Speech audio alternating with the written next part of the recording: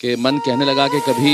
बसों में धक्के खिलाती है, कभी ट्रेनों में लाइन में लगाती है, कभी बच्चों की पढ़ाई की चिंता सताती है,